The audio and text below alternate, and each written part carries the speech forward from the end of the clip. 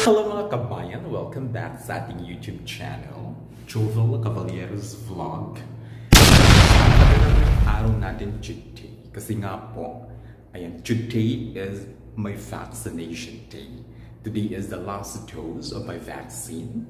So I'm already ready. Ayan, my schedule is 7 p.m. dito po sa Jeddah, Saudi Arabia. So, I'm already ready. I-update ko kayo mga kabayan pagtapos na po ang aking vaccine. Kasi alam ko, parang bawal ata magkuha ng video sa loob mismo ng vaccine center. Okay?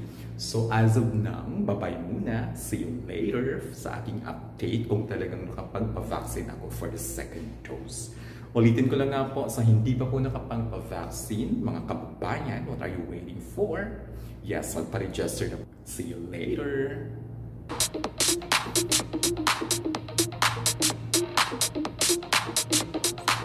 Hello mga kabayan, kamusta po kayo lahat? I-update ko lang po kayo. So ngayon, kakatapos lang po ng aking vaccine. Naturukan na po ako ng second dose vaccine dito sa Saudi Arabia. So ang masasabi ko lang, thank you so much Saudi Arabia.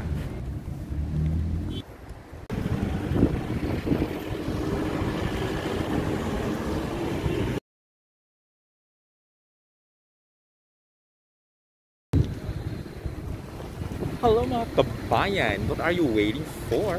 Ayan, magpa-register na po kayo. At the same time, yes, pumunta na po kayo sa malapit na vaccination center para makapagpa-vaccine na po kayo.